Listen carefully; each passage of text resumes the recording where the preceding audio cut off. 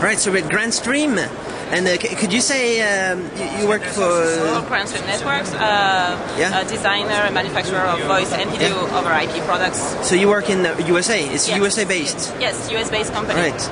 So there, this is the, the oldest product you, you Yes, have. the uh, 101.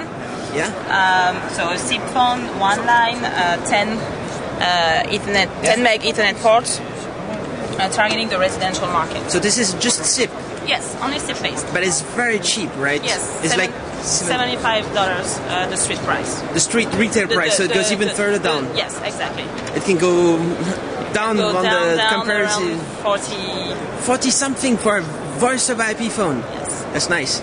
So, th- and this is what is this? This is the BudgeTone 200, so uh, two Ethernet ports, um, a 10, 100 uh, meg uh, switch. All right. So this One is line as well. So if people have a switch at home, they can just get this one. and If they don't, they get this one. Exactly. exactly. So this is like uh, if you don't have anything else, you put everything your internet through this. exactly your internet through this, and you can even even connect a PC.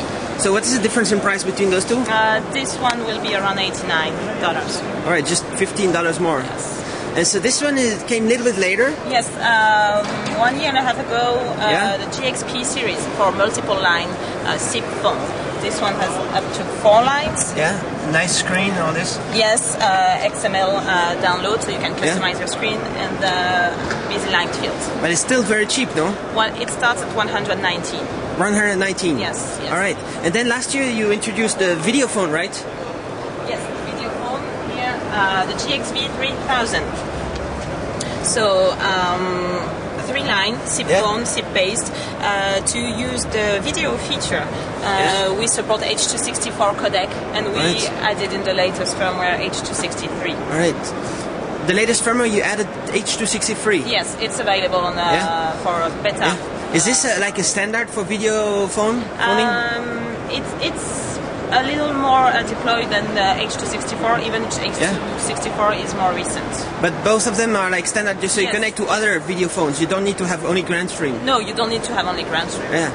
This is just another color. This one, no? Yes, yes. The Yeah. difference is simply the color. The Silver color. Black. And now you have a new one. Uh, yes, will be on the market at the end of April. Yeah. Uh, it's the GXP 2020, All right. targeting the high-end business. So six-line uh, phone.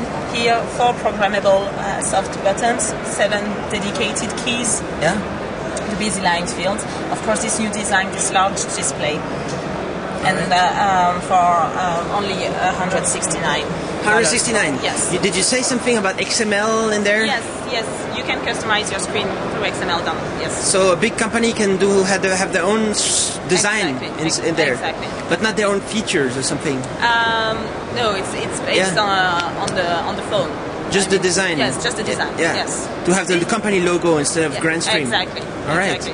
And it's easy to update all the phones through a, browser interface. Yes, uh, browser interface uh, or TFTP server, HTTP Yeah. server. So automatically it checks the TFTP server for yes. updates. Yes, yes, you can configure Yeah. it so that it does that. So this is like the cheapest. Uh, you, you make the best and the cheapest voice over IP phone, right? try to do. Yes. Yeah. And very successful. Can you say that?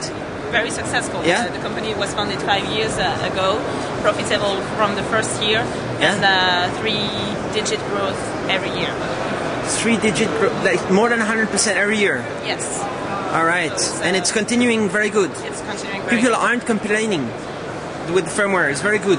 We, we issue quarterly firmware Yeah. uh, to fix the, the bugs and the issues. That uh, Yeah. so now we have a line of products very mature and very stable. Even you add features sometimes Yes. when they make Yes. sense. Yes. Yes. All right.